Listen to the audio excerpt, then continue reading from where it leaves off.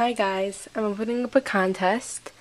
Um, the contest is going to be someone, whoever gets the most subscribers for me, will win everything that you see right here, or more. Um, so you gotta tell one person to subscribe to me. The person has to leave me a personal message after they subscribe to me saying who told them to subscribe to me. So the amount of subscribers that you give to me, um, you will win. How many? Like let's say you got seven subscribers for me you'll get one two three four five six seven eight well seven. Yeah you'll get these. Okay. So um you just have to tell someone to subscribe to me tell them to leave me a personal message saying that blah blah blah told me to subscribe to you. And whoever gets me the most subscribers will win. Um, so I'm just going to show you what the prices are. And this is totally free. I'm going to ship it to you. So this is a bag of micro marbles. It's a pouch and it has a lot in there. It has about more than half a container. And these are just rainbow, multicolored.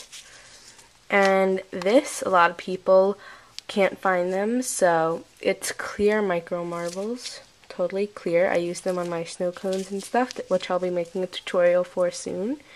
Um, the next one is an orange cane.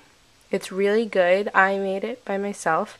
And this isn't the one I'm going to give you. I'm going to give you a 5 centimeter one. And this is what the orange cane looks like. That's what the lemon cane looks like, and that's what the kiwi cane looks like. And it might not look exactly like that. It's probably going to be better because these are some of my old canes. Because I'm going to make new canes for you. And the contest ends in exactly one month, which is the date I'll write in the description. Um, I'm also going to give you this ice cream that I made. Um, you get to choose your flavor. Um, if you can see, I have a lot. And you can choose. Um, this is the cupcake that I made in one of my tutorials. It has a little flower on it and an eye pin on top. And I'll make these to ear, like to necklaces and I have this one giant cupcake. It's baked and it's made of clay. And it's really big, but it would look really cute as a necklace, so it's on a necklace. And um, I have these last cake earrings. They're really cute, but the camera isn't showing it really well.